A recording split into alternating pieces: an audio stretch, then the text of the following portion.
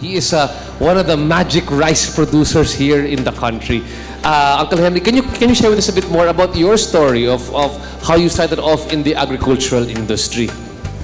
Uh, even before that, I would like to ask dito, sino bang ano, sino bang nasa ano, nasa agri?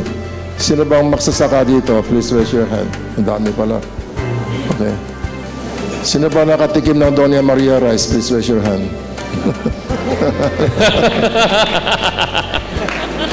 sino na, sino na ba ano, nakagamit ng Sterling notebook before? Please raise your hand also. I'm, I'm somebody who, ano eh, uh, I know nothing about agriculture kasi I started our business, no, my father, no, as a small bookstore, you go into stationaries. We produce one of the best notebooks in the Philippines, in the, uh, this country, the Sterling notebooks. But then I venture into agriculture, no. This is an unknown field, you know. I'm not an agriculturist. Uh, I'm not from UP Los Baños. I'm from UP Diliman. I'm a graduate of engineering. And of course, I took up some uh, management course also. But bakit agriculture, di ba? That's why I want, ano, yung mga magsasaka dito, you should feel proud, ano, nasa agriculture kayo kasi we are in the business of feeding our people. And I'm happy, no, nandito kami. Ito, meron mga feeds para sa mga baboy. Pagkagutom ka, may mga chicken dito. Pagkailan ka ng kanin, dito naman, bigas. mga mangingisda, nandito naman. Kaya may mga isda rin tayo, no? Tapos yun, yung secretary pa natin. So, ito, this is one thing, no, that's very exciting, eh. But now at that time, I know nothing about agriculture, but because I know that uh, the only way for us to really be self-sufficient, kailan mak-increase ang yield natin per hectare.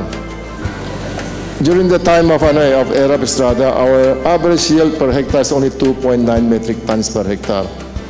And then when I know that China came out with a hybrid rice that can come, that can produce around 9, 10 tons, 11 tons per hectare, I try to pursue that kind uh, of knowledge, no? Yung mga paano may develop ng isang tropical hybrid rice dito.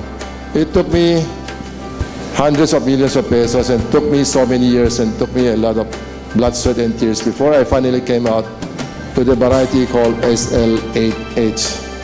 SL8H, we came out in 2001, 2002, and I'm happy, no, during that time, the government pushed the hybrid rice program. But unfortunately, it's a short-lived program. It's around two to three years, but yet we have already 200,000 hectares during that time.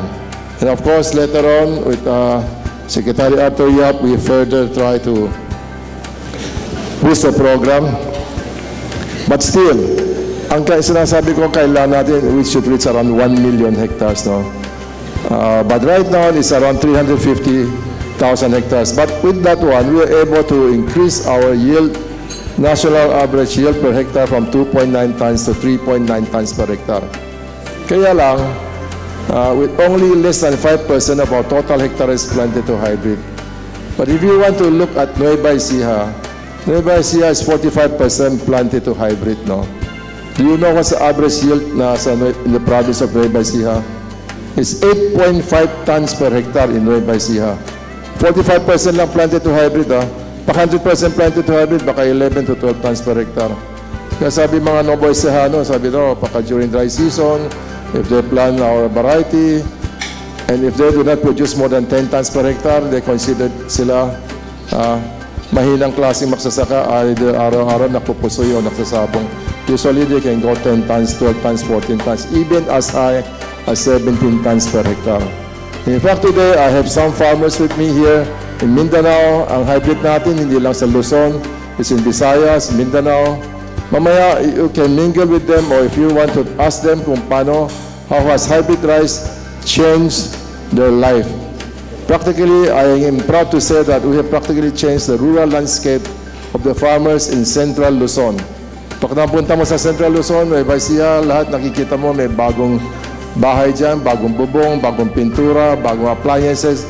Pati masasakyan nila, bago rin.